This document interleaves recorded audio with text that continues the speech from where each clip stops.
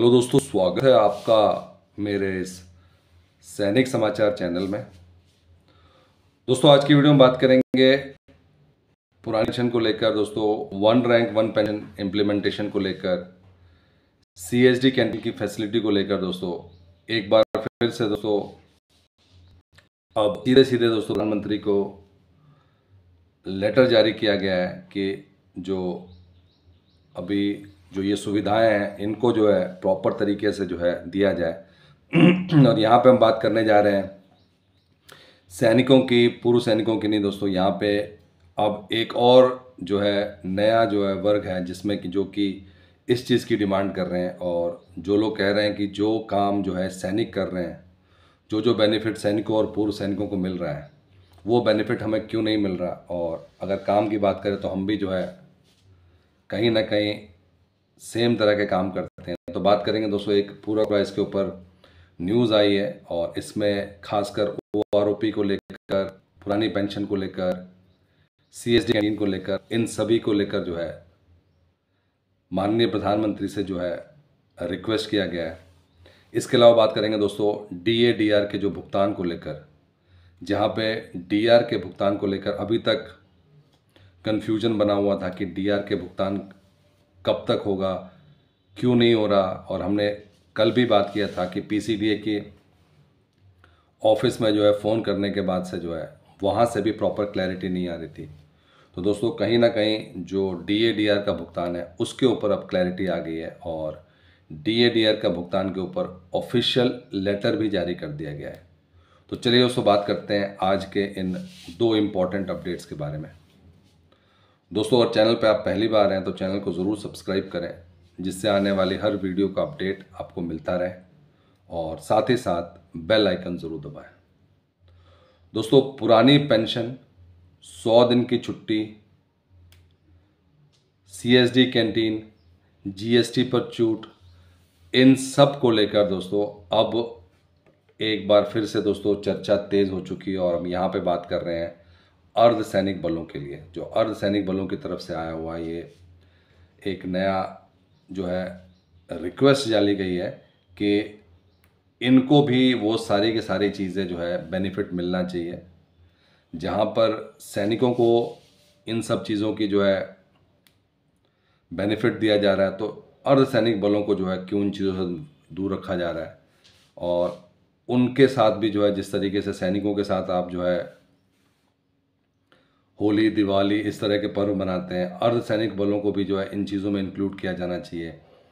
उनका भी मनोबल बढ़े उसमें, क्योंकि अर्धसैनिक बल जो है, उनको भी जो है वो सुविधाएँ मिलनी चाहिए जो कि सैनिकों को मिलता है। जहाँ पे सौ दिन की छुट्टी हो गया आपका एमएसपी का बेनिफिट हो गया ओ का, जो कि बहुत इंपॉर्टेंट चीज़ें हैं, जो कि शुरू से नहीं मिला इवन अब पुरानी पेंशन स्कीम का भी जो है बेनिफिट नहीं मिल रहा।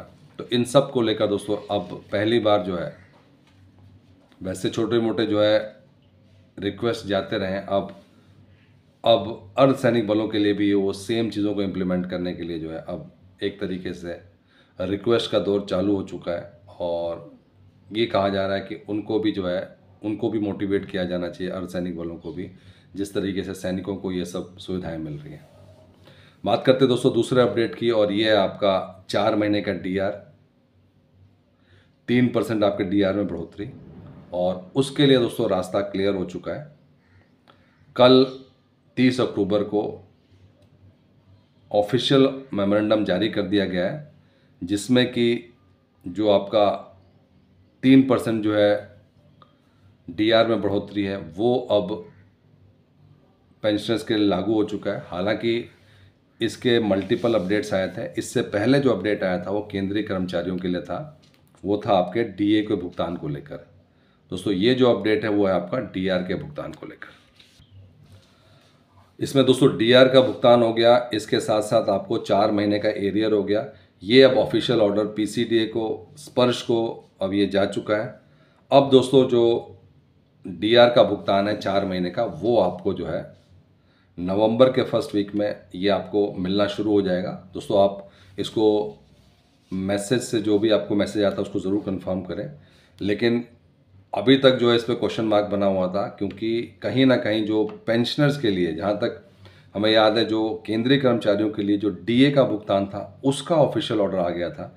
क्योंकि आप जानते हैं कि जब ये ए आई सी पिन के आंकड़े आते हैं, उसके बाद से कैबिनेट की मीटिंग होती है। कैबिनेट की मीटिंग के बाद से बहुत सारे जो है ऑर्डर्स भी निकलते हैं और उन ऑर्डर के बाद से ही जो है ये डी ए डी आर का जो है एक्चुअल भुगतान होता है। जब तक डिपार्टमेंट के पास कोई ऑर्डर नहीं जाएगा तब तक वो इसका भुगतान नहीं करेंगे, क्योंकि उसके बाद से जो है, अब ये जो ऑर्डर आ चुका है, ये स्पर्श को जा चुका है, ये सभी पेंशनर्स के लिए जा चुका है, जितने भी पेंशनर्स हैं, ये सिर्फ़ स्पर्श की बात नहीं कर रहे।